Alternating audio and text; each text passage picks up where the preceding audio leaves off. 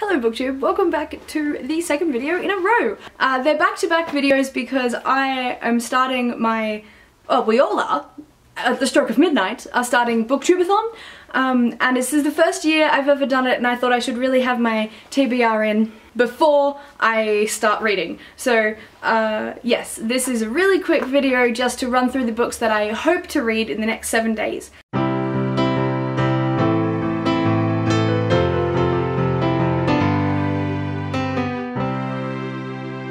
So I only just chose these um, very recently.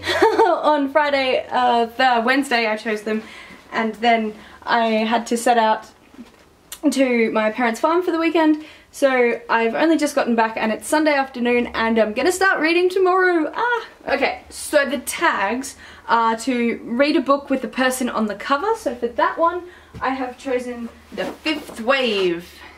Um, most of these books I know nothing about and some of them I bought specifically for the reasons but um, this one I bought a while back. It did have a bit of hype around it but when I bought it I did think it was a zombie book but now having looked at it I think it might be an aliens book. I'm not sure. I'm intrigued. It's going to be interesting.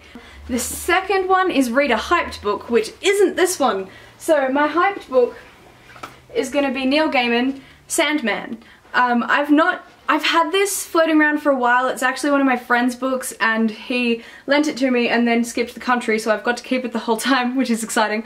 Um, but I haven't read it because I just haven't really gotten into it but there has been so much hype for so long around it that I'm going to finally read it this week. The next one is to read a book in one day. I picked up Geekerella which just looks really fun and exciting and nerdy just like me and part of my subcultures so I'm going to uh, read that in one day for sure. It's, I mean, it's not tiny, it's still like 300 and something pages but it just looks like it's going to be a really easy happy read for me so I'll read that all in one day. The next one is read a book about a character who is completely different to you. I'm going to put Divergence. It's not part of that trilogy. It's by Tony Ballantyne um, and it's science fiction. So I think I think the characters in it are robots. Yes, I've had this book for a really long time and it's kind of really science fictiony, set in space with robots and planets and stuff. But it's about artificial intelligence and stuff, so I figured that's removed from me in that I'm hopefully not an AI. I clipped the I'm not a robot button enough.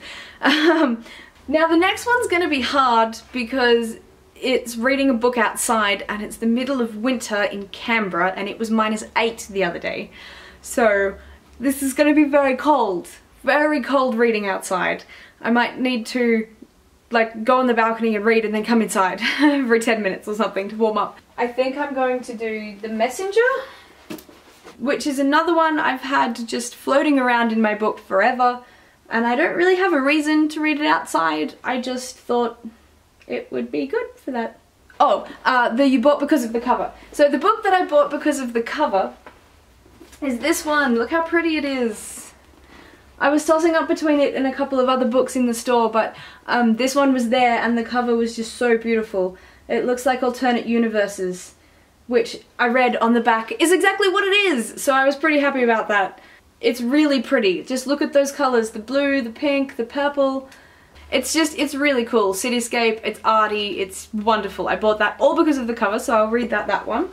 And then finally the last one to make it seven books in seven days is Wilde Like Me, which I bought a little bit because of the cover as well. Mainly because it says Wild with an E on the end, which is like Oscar Wilde, and I just die for everything Oscar Wilde. um, and it just looks super cute and a little bit easy to read as well. So yes, all of these books. I might switch up the categories and read a different one out loud outside and stuff, but this this is them and I really really hope I can read this pile of books the size of my head in one week. But we'll see. We'll see how we go. cool. Thanks so much for watching everyone. How do you turn this thing off?